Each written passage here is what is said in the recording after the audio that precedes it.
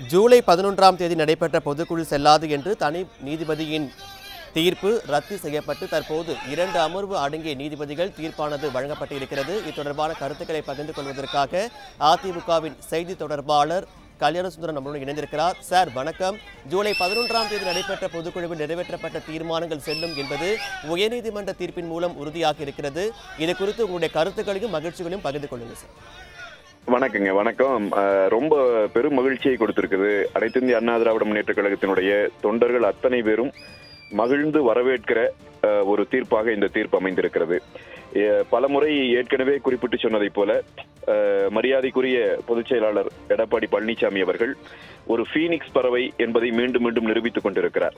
இவர்கள் எல்லாம் முடிந்துவிட்டது என்று சொல்லி கொக்கரித்து ஆட்டம் போடுகிற அந்த காலத்தில் துரோகிகளினுடைய முகத்திரையை கிழித்தெறிந்து மீண்டும் மீண்டும் ஃபீனிக்ஸ் பறவையைப் போல எழுந்து பறப்பது என்பது அவருடைய வழக்கமாகவே மாறி இருக்கிறது அதைத்தான் கடந்த காலங்களும் காட்டியிருக்கிறது. இந்த தீர்ப்பின் மூலமும் பார்க்கிறோம். இன்னும் ஒரு பெரிய மகிழ்ச்சி இதில் என்ன அப்படின்னு சொன்னா இந்த தீர்ப்பை கொடுத்திருக்கிற நீதிமன்றத்தை நீதிமன்றத்தினுடைய நீதி அரசர்கள் அவர்களுடைய நேர்மையை நாம் வந்து பாராட்டணும் அதை மகிழ்ந்து வரவேற்கணும்.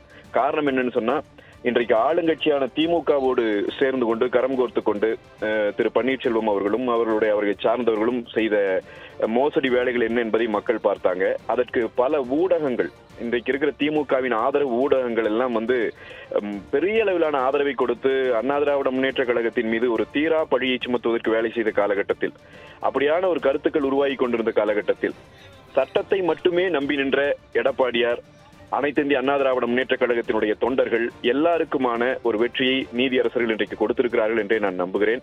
இதனால் மீண்டும் ஒரு முறை ஜனநாயகம் காப்பாற்றப்பட்டிருக்கிறது. அனைத்து இந்திய அண்ணா திராவிட முன்னேற்ற கழகத்தினுடைய பொதுச் செயலாளராக தேர்ந்தெடுக்கப்பட்டிருக்கிற இடைக்கால பொதுச் செயலாளராக இன்றைக்கு இருக்கிற மரியாதைக்குரிய எடப்பாடி பழனிசாமி அவர்கள் அவர் இடைக்கால பொதுச் செயலாளராக தேர்ந்தெடுக்கப்பட்டது செல்லும் என்று சொல்லியிருக்கிற இந்த தீர்ப்பின் மூலமாக உண்மையில் ஜனநாயகம் பாதுகாக்கப்பட்டிருக்கிறது என்பதுதான் என்னுடைய கருத்து. நிச்சயமாக சார். தற்போது இடைக்கால பொதுச் செயலாளர் அவர்களுக்கு வாழ்த்து தெரிவித்து வரும் இந்த நேரத்தில் தற்போது ஒற்றை தலைமைதான் வேண்டும் என்று அனைத்து அதிமுக தொண்டர்களும் ஒருமித்த கருத்தாக இருந்து வந்த நிலையில் தற்போது தீர்ப்பின் அடிப்படையில் தற்போது அது உறுதியாக இருக்கிறது. இதை நீங்க எப்படி பாக்குறீங்க ஆ, ஆமாங்க. இது வந்து அதான் நான் ம- மறுபடியும் சொல்றேன். இதுதான் ஜனநாயகம். ஜனநாயகம் காப்பாற்றப்பட்டிருக்குன்னு சொல்றேன். ஏனென்றால் அனைத்து இந்திய அண்ணா திராவிட முன்னேற்ற கழகத்தின் நூறு விழுக்காடு தொண்டர்களும் ஒற்றை தலைமையின் கீழ் ஒரு தலைமையாக பொதுச் செயலாளராக மரியாதைக்குரிய முன்னாள் முதலமைச்சர் என்ற எதிர்க்கட்சி தலைவர் ஐயா எடப்பாடியார் அவர்களை தலைமையேற்று நடைபெறுவதற்கு தயாராகிவிட்ட சூழலில். அதுதான் தேவை என்று அண்ணா திராவிட முன்னேற்ற கழகம் முழுமையாக ஏற்றுக்கொள்கிற போது அதை தடுக்க யாராலும் முடியாது என்பது இன்றைக்கு தீர்ப்பின் மூலம் நிரூபிக்கப்பட்டிருக்கிறது. அது பெரிய மகிழ்ச்சியை கொடுக்கிறது.